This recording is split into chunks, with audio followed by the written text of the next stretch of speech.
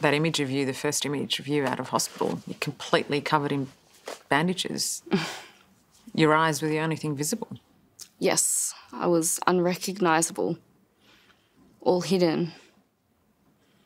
It was pretty daunting looking back at those photos because sometimes I don't even remember what I looked like. I, I didn't have to see myself for a long time, so seeing myself bandaged up like that in those photos, that was new for me as well. Seeing one of my best friends in that kind of situation, it was completely uh, turned my world completely upside down, pretty much. Yeah, it was just it was very um, confronting to just see her with all these tubes in her and having to have 24 hour care and not being able to talk to her, but yeah, and pretty much not being able to recognize her from what she was when I saw her like less than a month before that.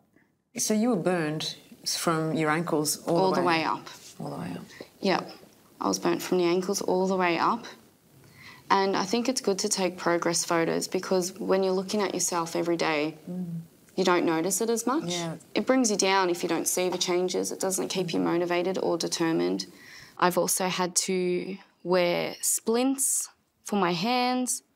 I've had to use a mouth retractor, go through scar, massage therapy. I've gone through a lot, but I've tried my best to take it all on so that I could be the best that I can be and improve as much as I as much as possible, really. I'm so good. I got to see her make a lot of progress. All right, what should I be doing? You literally just go to the right. That's literally what this game is. It's not that, it's not that complex. Don't hit that though. Okay, yeah, I hit it. Oh no, I didn't. So when she was first moved to from ICU to the normal ward, I was still a little bit worried. But when when she started like requesting like solid foods like Nando's, Krispy Kreme, and stuff like that, I was kind of like, okay, I think she, I think she's gonna be okay with all this. Do you have an idea of your ongoing treatment? What lies ahead for you? I do have an idea. I know that surgeries will be a constant in the future, especially with my hands, the function in my hands, and also my face.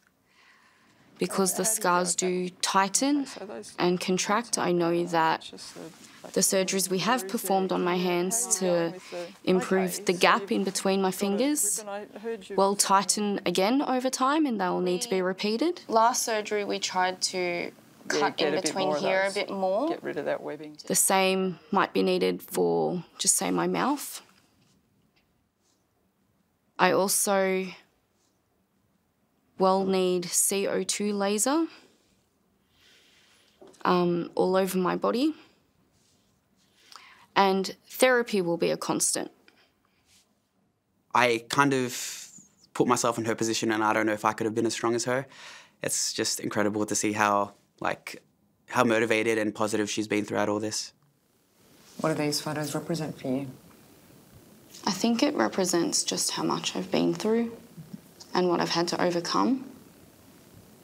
But it also represents being comfortable within my own skin and being proud of what I've achieved and will still have to achieve in the future.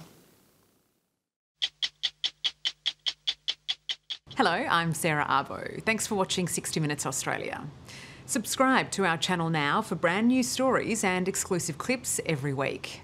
And don't miss out on our extra minutes segments and full episodes of 60 Minutes on 9now.com.au and the 9Now app.